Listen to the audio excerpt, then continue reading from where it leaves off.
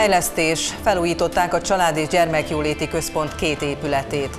Választás 2018 az állampolgárok február 19-éig kapják meg az értesítőket. Központi felvételi szombaton írásbeliznek a középiskolába jelentkezők.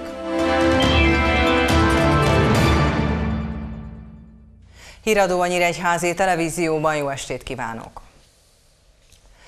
Felújították a Család és Gyermekjóléti Központ május 1 téri és a Körte utcai épületét is. A beruházás egy több mint 220 millió forintos Európai Uniós pályázat keretében valósult meg. Kívül belül megújultak az épületek, a fejlesztés célja a jó minőségű közszolgáltatásokhoz való hozzáférés javítása volt. A Család és Gyermekjóléti Központ Körte utcai épülete is megújult a lebontott 80 négyzetméteres toldaléképület helyére 140 négyzetméter bővítéssel egy új épületszány került. Ezen kívül többek között új nyilászárókat kapott a központ, felújították a fűtési rendszerét és a rendelkezésre álló eszközpark is modernebb lett. Konferenciatermek és ügyfélfogadók is lehetővé teszik a színvonalas szakmai programok és szolgáltatások lebonyolítását, a központ 2016. január 1-től működik, amely a Nyíregyházi járás 14 településén illetékes, elsősorban a gyermekek védelme érdekében végeznek hatósági feladatokhoz kötött munkát. Ezen kívül a szolgáltatásunk, tehát a Nyíregyházi Család és Gyermekjóléti Szolgálat Nyíregyháza három telephelyén várja a lakosokat. A szintén ebből a projektből felújított május 1 tér 10 szám alatt az északi telephelyünk, a déli telephelyünk, a Vécsei utcán, illetve a Huszár telepi telephelyünk. Ami még kiemelendő, hogy a Nyíregyházi járás néhány településén is ellátjuk a szolgáltatást, tehát Sényőn, Nyírturán, Nyírpazonyban, és 2018. január 1-én Nagycserkeszen és és Kálmán házán is a Nyíregyházi Család és Gyermekőti Központ szolgálata látja el ezt a feladatot. A központ Körte utcai épületét dr. Kovács Ferenc adta át, a szalagátvágás után helyszíni bejárást is tartottak. A polgármester kiemelte, folytatódik a szociális alapszolgáltatások infrastruktúrájának fejlesztése. Már a második ütemre vonatkozó pályázatunk is pozitív döntést kapott folyik a támogatási szerződés előkészítése. Ez a mostani 225 milliós összegnek a fejlesztés nagyságát érzékeltesen több mint a duplája. 574 millió forintról van szó, amit az Őz utcában, illetve a Kollégium utcában valósítunk majd meg. Én azt gondolom februárban a támogatási szerződést alá tudjuk írni, és indulhat a beruházás előkészítése. A fejlesztéssel kapcsolatos tájékoztatón kiemelték új szakmai kihívások előtt áll a Család és Gyermekvédelmi Központ, áprilistól fogyatékos ügyi tanácsadókat is alkalmaznak, majd szeptembertől pedig várhatóan 15-20 fővel bővül a központ, hiszen akkortól valamennyi család és gyermekjóléti központ számára kötelező feladat lesz az iskolai, óvodai szociális munka. Április 8-ára írta ki az országgyűlési képviselők választását Áder János köztársasági elnök. A választás kitűzésével azonban hivatalosan még nem kezdődött meg a kampány, mert az a választást megelőző 50. napon, azaz február 17-én indul. Az új országgyűlésnek legkésőbb május 8-áig kell megalakulnia. Az országgyűlési képviselők választása egyfordulós, a választópolgárok két szavazattal rendelkeznek. Egyrészt voksolhatnak arra, kit szeretnének az egyéni választókerületükben képviselőnek, másrészt a másik éven arról dönthetnek, hogy az országos pártlistáról melyik pártot támogatják. Az országos listán 93 országgyűlési mandátum sorsa dől el.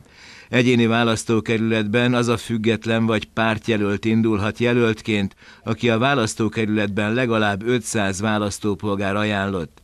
Egy választópolgár több jelöltet is ajánlhat, de egy jelöltet csak egyszer. A jelölteknek március 5-éig kell összegyűjteniük az induláshoz szükséges számú ajánlást.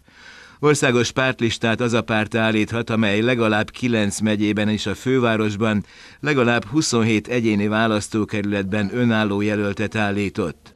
Február 19-ig fogja mindenki megkapni az értesítőjét, ami a szavazás legfontosabb tudnivalóiról fogja őt tájékoztatni.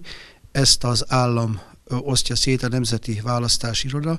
Tehát a legfontosabb az, hogyha valaki február 19-e hétfőig az állandó lakcímére nem kapja meg a tájékoztatóját, akkor az mindenképpen keresse meg helyben itt Nyíregyházán a választási irodát. Ez továbbra is a polgármesteri hivatalban működik a jegyző irányítása alatt, és ott érdeklődjön, hogy vajon mi az oka annak, hogy ő nem kapott ilyen papírt, mert vagy valamilyen administratív tévedés van, vagy pedig egyéb olyan dolog, aminek utána fogunk nézni. Az idei országgyűlési választáson is szavazhatnak a nem magyarországi lakóhelyen rendelkező magyar állampolgárok. Nekik március 24-éig kell felvetetniük magukat a központi névjegyzékbe a Nemzeti Választási Irodánál. A választás napján külföldön tartózkodó választópolgárok Magyarország nagykövetségein és főkonzulátusain akkor szavazhatnak, ha a helyi jegyzőnél március 31-éig nagyszombatig jelentkeztek a külképviseleti névjegyzékbe. Aki a szavazás napján nem tartózkodik lakóhelyén, de Magyarország egy másik településén élni kíván a választójogával, április 6-áig kérheti átjelentkezését a lakcím szerinti választási irodától egy másik településre. Az átjelentkezők a választott településen és az eredeti lakcímük szerinti egyéni képviselőjelöltekre szavazhatnak. Várhatóan a választás éjszakáján már előzetes eredményt közölnek majd, de a választás jogi eredményét csak a külföldön leadott szavazatokat tartalmazó urnák hazaszállítása és a levélben leadott szavazatok megszámlálása után állapítják meg. Az egyéni választókerületek eredményét legkésőbb április 14-én, a választás országos eredményét pedig április 27-én. Az új országgyűlésnek legkésőbb május 8-áig kell megalakulnia. A központi írásbeli felvételét minden középiskolában 2018. január 20-án tartják délelőtt 10 órától. A feladatsorokat 4 vagy 5, illetve a 6 vagy 8 osztályos középiskolákba jelentkezőknek kell megírniuk matematikából és magyarból. A jelentkezéseket 2017. december 8-áig kellett elküldeni. A központi írásbeli felvételét minden középiskolában 2018. január 20-án tartják délelőtt 10 órától. A feladat sorokat 4 vagy 5, illetve a 6 vagy 8 osztályos középiskolákba jelentkezőknek kell megírniuk matematikából és magyarból. A tanulóknak 2017. december 8-áig kellett benyújtaniuk a jelentkezésüket a központi írásbeli felvételi vizsgára, közvetlenül a központi írásbeli felvételi vizsgát szervező intézménybe. A magyar nyelvből és matematikából készített központi feladatsorok kitöltésére kétszer 45 perc áll a diákok rendelkezésére. A két feladatlap kitöltése között 15 perc szünetet biztosítanak. Az írásbeli vizsgán a dolgozat megírásakor a rajzokat ceruzával, minden egyéb írásbeli munkát kék vagy fekete színű tintával kell elkészíteni. A magyar nyelvi feladatlapok kitöltéséhez segédeszköz nem használható. A matematika feladatlapok kitöltéséhez vonal almazó, körző, szögmérőn kívül más segédeszközt nem vehető igénybe. Az Rényi Ilona gimnáziumban is várják a felvételizőket, 134 helyet hirdetett meg az iskola, így négy osztályt indítanak. Tavaly közel négyszeres volt a túljelentkezés. Ezen a hétvégén ugye központi írásbeli felvételit tartunk a nyolcadikosok számára. A fenntartó engedélyével 134 helyet hirdettünk meg, tehát négy kilencedik osztályunk fog indulni, és ide várjuk a nyolcadikosokat.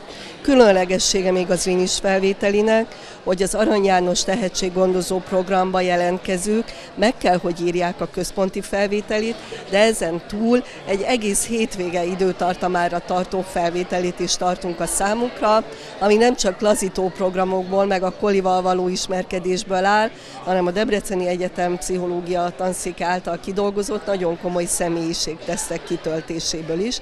Tehát gyakorlatilag mi már péntek egy órakor kezdjük a felvételit. A többieket, akik az úgymond sima, tehát a nyelvi tagozatos, a haladó osztályainkba jelentkeznek, őket pedig szombaton 10 órától várjuk.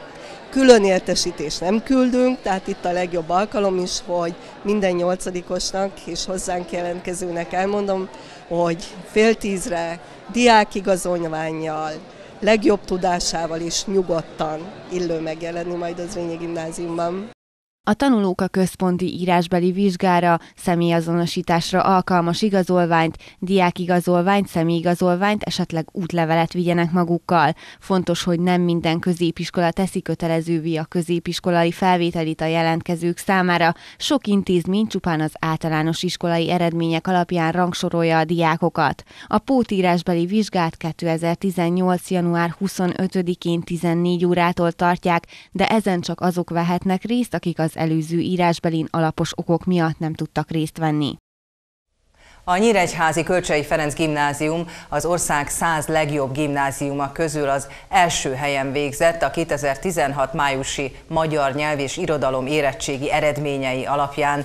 Mindjárt jövünk a részletekkel, előtte még nézzük a nap további híreit. Tegnap délután az országzászló téren egy autós figyelmetlenül kanyarodott és összeütközött a szabályosan érkező terepjáróval. Személyi sérülés nem történt. Délelőtt Nyírszőlős belterületén egy teherautó forgalmi jogból letért az útról és megsüllyedt. A tűzoltók daru segítségével állították vissza az úttestre. Délben a Kiskörúton egy autós megállt a piros lámpánál, a mögötte érkező pedig nekiment, személyi sérülés nem történt. A Nyíregyházi Kölcsei Ferenc Gimnázium az ország 100 legjobb gimnáziuma közül az első helyen végzett a 2016 májusi magyar nyelv és irodalom érettségi eredményei alapján. Történelem tantárgyból a második helyre került, az összteljesítményt tekintve pedig a 42. helyet kapta meg az országos ranglistán. 2017-ben a Nyíregyházi Kölcsei Ferenc Gimnázium magyar nyelv és irodalom érettségi átlaga lett a legjobb a 2015-2016-os tanévi május-júniusi érettségi vizsga feldolgozott adatai alapján. 2010 óta ez a hetedik év egyhuzamban, amikor a 100 legjobb gimnázium rangsorában az első helyet érte el a Kölcsei. Az Oktatási Hivatal által közzétett adatok szerint az utóbbi évek magyar érettségi érettségiének a százalékban kifejezett eredménye 90-92 százalék között volt.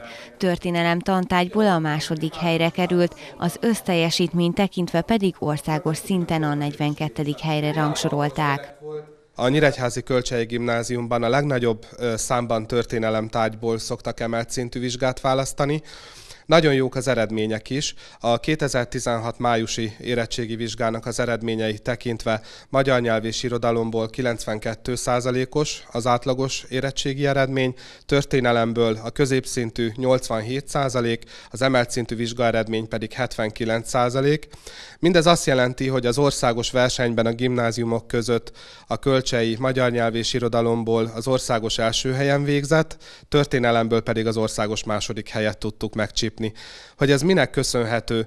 Nyilvánvalóan a gyerekek elkötelezettségének, motiváltságának, hiszen a céljuk a felsőoktatási rendszerben való továbbtanulás, a másik pedig azt gondolom, hogy a pedagógusoknak az odaadó lelkiismeretes munkája, a nagy felkészültségük, a gyakorlatuk, a követelményrendszerük, ez mindez, mindez együtt eredményezi ezeket a jó eredményeket.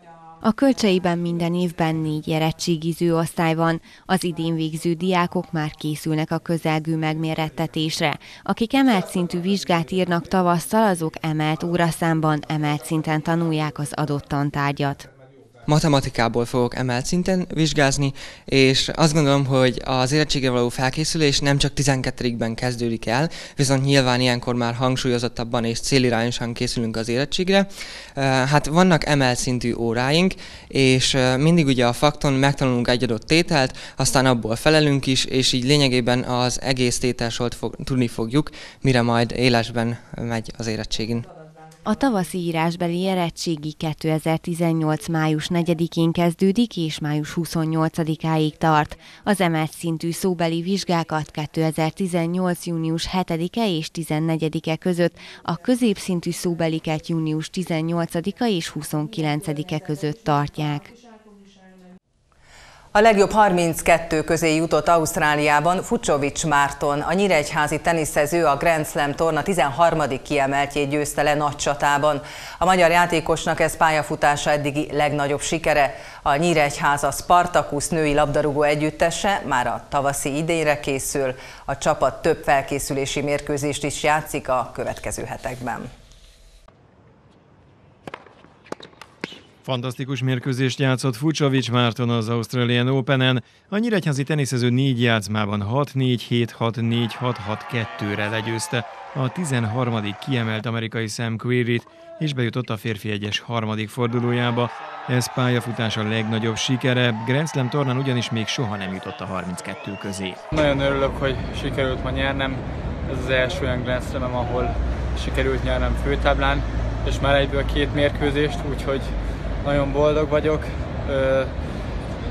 Következő mérkőzésemre szeretnék már koncentrálni, Nikolász Kiker ellen lesz. Nagyon készülök erre a mérkőzésre, nagy lehetőség, hogy még egyet nyerjek, úgyhogy most ez a legfontosabb. Készül a tavaszi szezonra a Nyíregyháza Spartacus női labdarúgó együttese. Az MB2-es gárda több felkészülési mérkőzést is játszik a következő hetekben. Szlovákiában egy edzőtáborban a Kellenes C mellett külföldi csapatokkal is találkozik a Spari. Úgy néz ki, hogy a Bárfa is, illetve még egy szlovák másodosztályú csapat is megteszi tiszteletét az edzőtávol, és sikerülni fog ezeket a nemzetközi meccseket is lejátszani, ami bárcsak felkészülési mérkőzés, de mindenképpen hasznos lesz, mert az női viszonylatban edzőmeccset lekötni sem egyszerű, nem hogy nemzetközi ellenfélel, úgyhogy ez meg külön pozitívum lesz, remélem. A téli szünetben a keret is változott, Serben Apollónia személyében egy kapus érkezett, Szanyi Mária pedig támadóként bevethető. Szintén támadó Kovács Anikó, aki már a szünet előtt csatlakozott a csapathoz. Ő Miskolcon játszott futszál együttesben korábban. Mindenkit ismertem már előtte, vagyis hát nagyjából mindenkit. Játszottam ellenük, többnyire ellenük. Akikkel együtt játszottam, azokkal szerettem együtt játszani, és a többiekről is csak pozitívat tudnék mondani. A női csapat jelenleg a harmadik helyen áll a tabellán, első tavaszi bajnoki meccsét pedig március harmadikán vívja.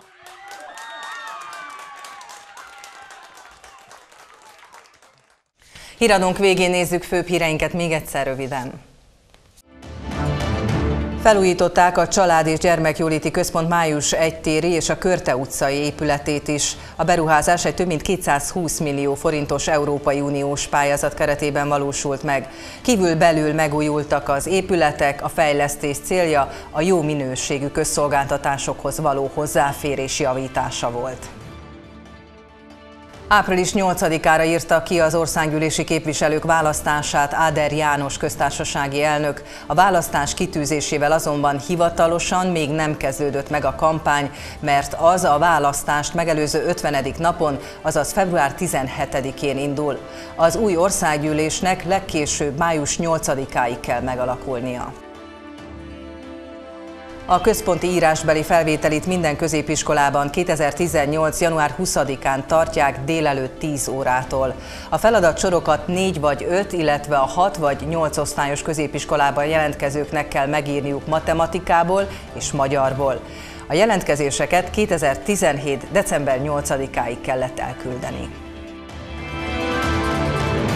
A Nyíregyházi Televízió híradóját látták. Megköszönöm figyelmüket, holnap is jelentkezünk majd híradóval. Viszontlátásra!